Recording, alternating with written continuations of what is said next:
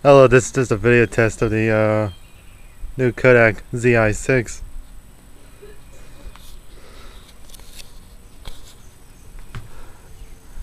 Look, this is a camera that I've used for uh, five years. Mustek DV3500 is what that is. Huh. That looks like an impressive It uses SD uh, cards.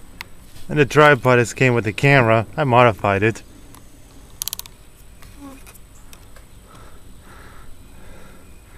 Controls there.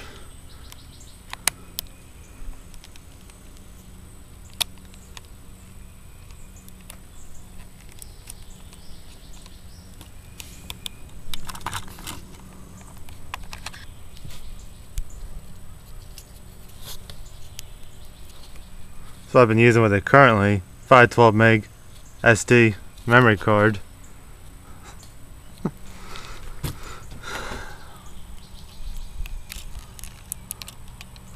I was using these anyway. Energizer Ultimate Lithium.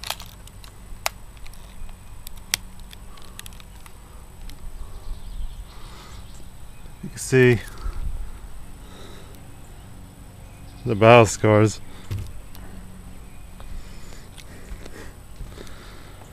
Well, I'm to cut this video short.